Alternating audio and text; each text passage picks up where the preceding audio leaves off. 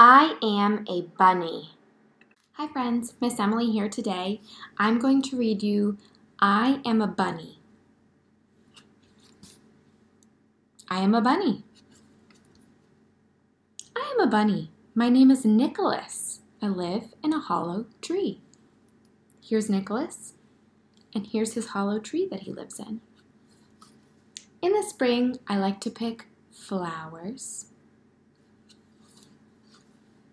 I chase the butterflies, and the butterflies chase me. In the summer, I like to lie in the sun and watch the birds. And I like to watch the frogs in the pond. When it rains, I keep dry under a toadstool. It's a kind of mushroom. I blow the dandelion seeds into the air. In the fall, I like to watch the leaves falling from the trees. I watch the animals getting ready for winter. And when winter comes, I watch the snow falling from the sky. Then I curl up in my hollow tree and dream about spring. So, one of my favorite pages in I Am a Bunny is the page where he says he likes to listen to the birds in the summertime. Let's see if I can find it. Here it is. He says, In the summer, I like to lie in the sun and watch the birds. So, watching birds is something that I think a lot of us have been doing while we've been at home and away from school right now. So, I wanted to share with you um, some flashcards that I have. These are matching cards, and you're supposed to match the birds that go together. But I just want to show you some of the different types of birds there are because there are a lot of types of, there are many types of birds in the world, and we see a lot of them right outside our window. But um, let me see what kind of birds I have on these cards that I could show you. So this one is called an ostrich. It has a long neck, long legs, and lots of big feathers. This is a big bird. Ostriches are large.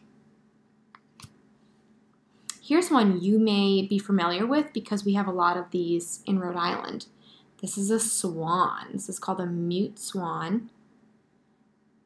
They're white with orange beaks and black feet, and there's a little bit of black around their face. Sometimes we see these um, down at the water if we walk down towards the water when we're at school. Here's a noisy one. This is a red-headed woodpecker. Do you know what they do? They peck, they knock holes, into the trees. Sometimes you can hear them pecking at the trees. And the reason they're doing that is because they're making a hole in the tree to get bugs out that they're going to eat because they think bugs are yummy. This is called a magnificent bird of paradise. I don't know, I don't know that I've ever seen one of these in person, but they are beautiful. This is a Eurasian blackbird. We see a lot of blackbird type birds around. We see crows and ravens. Here's one you might see at the aquarium an Atlantic puffin. Hmm, that's pretty cool. Puffin. It's a fun word to say. House sparrow. We have a lot of sparrows here in Rhode Island. I see these outside my window quite a bit wild turkey. Um, I know that my friend Asher has some turkey feathers at his house. These are very big birds also, and you may see these. Sometimes maybe if you're driving in the car, you might see them on the side of the road walking around. They like to walk around in big groups, and they're not really afraid of humans, which can be a little scary for us because they're they're very big in person blue jay. This is one of my favorites. There are a lot of these in the trees outside our windows.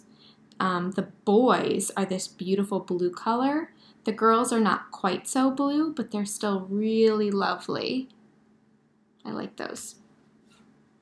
Laughing Kookaburra. That's a funny name, right? There's a song about a kookaburra we sing at school. Emperor Penguin. Do you remember where penguins like to live? Yeah, where it's kind of chilly. Mm-hmm. Golden pheasant. Look at the tail on the pheasant. Those are very long feathers.